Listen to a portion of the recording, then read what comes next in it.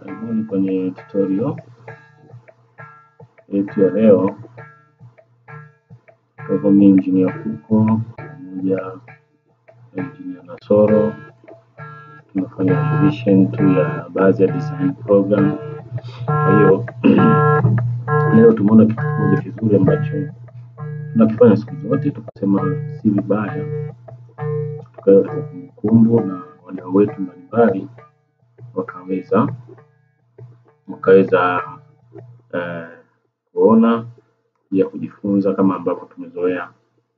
Hii ni session ya kufanya revision katika design programs mbalimbali ambazo tunazijua hapa. Uh, tuna design program tisini na tano ambazo zinatumia katika kufanya design ya barabara na madaraja ambazo tunazoea kuzitumia. Baadhi ya chache tu kama ambavyo mnaona ziko hapa juu, chache ambazo tunazo, lakini ukitaka kuingia ndani zaidi tutakuta na design programs nyingi ambazo tunazitumia katika katika design. Somo letu leo sio kubwa, sio refu sana, ni fupi. E, kitu cha kwanza tunachotaka kufundisha ni namna gani unaweza kupata DEM files za topograph kwa ajili ya uh, kufanya design mbalimbali. Kwa mfano uh, unataka kutumia kwenye QGIS, ArcGIS lakini una, una, unatafuta DEM files namna gani unaweza kuzipata uh, au kama unataka kufanya catchment area kwa kutumia uh, QGIS na program zingine unaweza kutumia uh, DEM hizi ambazo unaweza kupatikana hapa. Kwa kawaida sisi tumezoea kupata uh, data na, na, na, na, rainfall data na kutumia data kwa kutumia uh, product za NASA. NASA wa, wa, wana, wana offer hizi hizi hizi data nyingi. Kwa jambo kubwa ambalo unatakiwa kufanya ni kuwa na account katika NASA ambayo hiyo itakusababishia uweze kuwa unapata facilities mbalimbali ambazo zipo. Kwa jambo la kwanza lazima uwe na Google Earth. Hiyo ndio kitu cha kwanza kabisa katika kompyuta yako. Mimi nina Google Explore hii hapa, hii ni paid version. Eh, hii Google Earth huko nyuma tulishafundisha namna gani ambavyo unaweza kuitumia Google Earth kwa maengineer.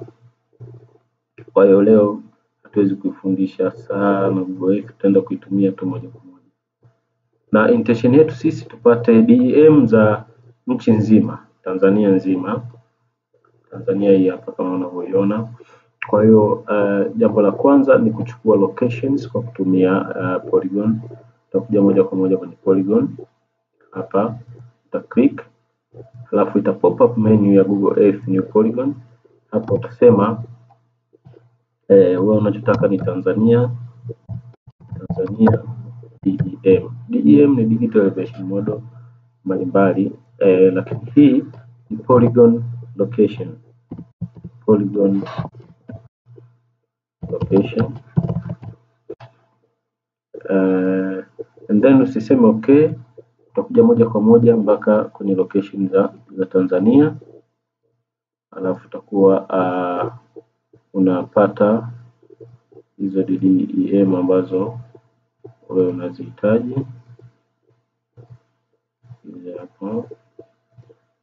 ili uweze kuomba aina gani ya digital elevation model ambayo unaitaka wewe kwa ajili ya kuitumia. Kwa ukishamaliza unasema okay, ita pop up ita, ita, itatokea kwenye sidebar hapa pembeni hapa Tanzania DEM. Unachokifanya uta right click, uta save places. Hii tutaiweka uh, hapa tuko na project ya Mirongo project ita polygon locations. Hapa tutaweka Tanzania DEM polygon location, lakini uta change kwenda kwenye KML halafu uta save. Kumaliza kusave, kazi ya uh, Google Earth itakuwa imekwisha.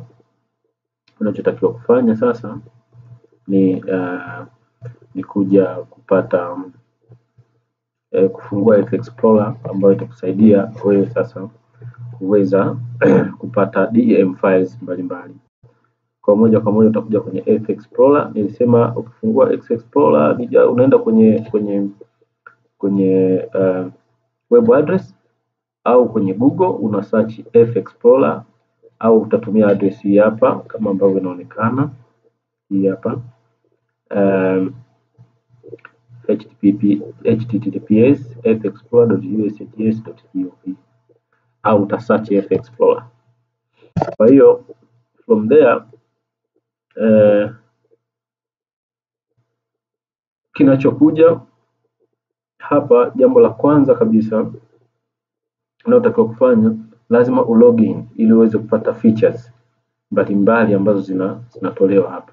Kama ukuweza kulogin huwezi kupata hizo feature ambazo zinatakiwa.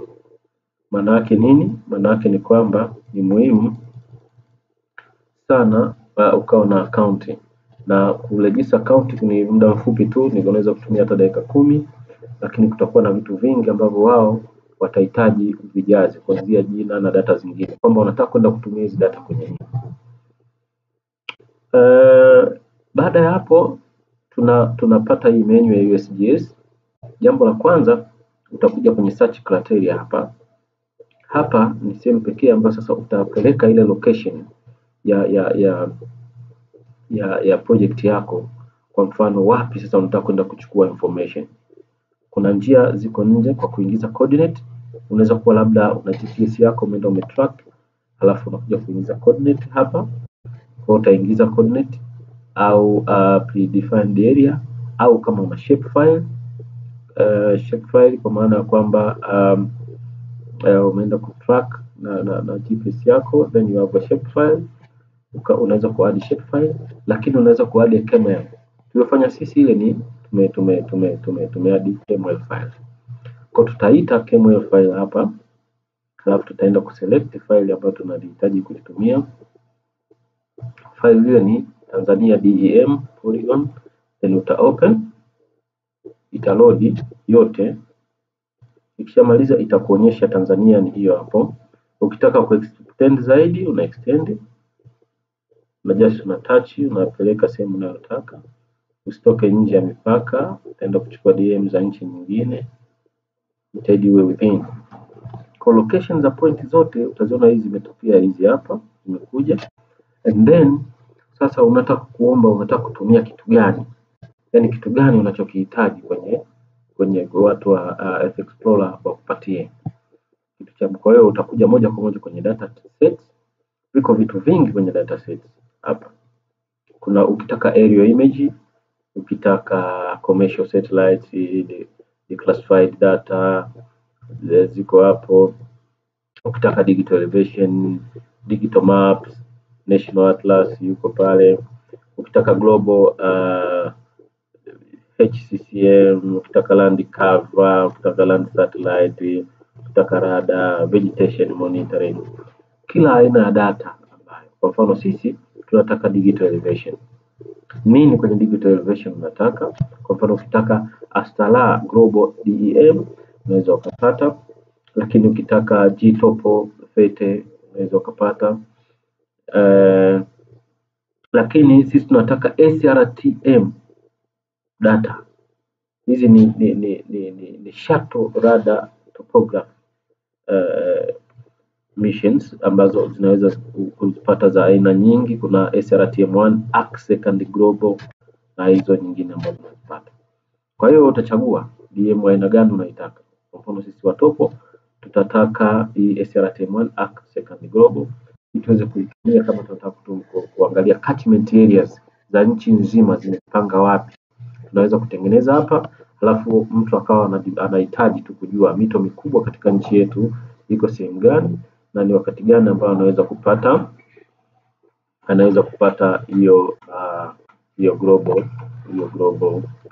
Kwa hiyo ni aina ya gani ya data ambazo nazitaka, kama nilivyosema mwanzo ziko hapo Kwa hiyo sisi tutaselect hii SRTM1 ArcSec second Global kwa ajili ya kuona hizo data gani tunazipata. Ukishamaliza then unakuja kwenye results. The search results itakuletea data ambazo zinahitajika. Eh, sasa kwa nchi nzima ya Tanzania kuna DEM kumi peji peji ziko kumi katika kila peji moja ina nani zake. Kwa hiyo utaona ina display 1 to 10 of 91 ndio unapata DM za kutosha nchi yetu nzima hii. alafu baadaye utatumia hii zinakuwa interpreted na TJS, halafu unaweza uka uka, uka, ukazi ukazi mosaic yani ukaziunga ukaziunga ili upate DM moja ambayo unaweza kuitumia kwa shughuli zote zako Kwa ukitaka kuangalia kwa mfano footstep utaona hiyo ya kwanza iko tuna share sisi na na Kenya. Hii hapa iko listi nje, aziona utaona ya pili kule ilipo. Kwa ziko nyingi. Kwa hizi zote hizi unazimosaic. Ukishazi download. Kwa ukitaka kupata DM ya nchi nzima uwe nayo, you need time, unahitaji kuwa na data, very high speed ya internet. Ambayo itakuwa inachukua kwa muda mfupi. Kwa mfano hiyo hiyo. Number 3 number 3 ziko hizo, ukiangalia hiyo iko katikati pale, hii hapa na hii na second ni, ni, ni, inachukua eneo kubwa, si eneo dogo kama ambavyo una, unaweza kuziona eh. Kwa kawaida uh, sisi huwa tunachukua uh, tunachukua eneo lile tu ambalo una interest kufanya kazi. Basi baada ya kumaliza and then ukakava hiyo nchi nzima, then unakuja hapa una download, kuna download option. Itakwambia utahitaji kwa bill format au ta DTED au GeoTIFF. Sisi tunachukua GeoTIFF kwa sababu dio GeoTIFF ni raster image, raster ambazo zinakuwa uh, zina attribute eh, uh, yani tunavyosema attribute kwa maana ya kwamba isa ni image yenye data ambayo unaweza ku, ku, ku, kuweza kuitumia. Basi baada ya kumaliza hiyo, nadhani somo letu la leo limetosha. Wakati mwingine tunaweza kuzi, kuzielezea namna gani tunazitumia hizi DEM files, lakini watu wengi wanajua kama kinatenga nani wanajua namna gani wanaweza kuzitumia hizi DEM files. Kina Donat wanajua namna gani wanaweza kuzitumia DEM files na watu wengine wengi ambao ni, ni wataalamu wa KPIs. Asante, bye.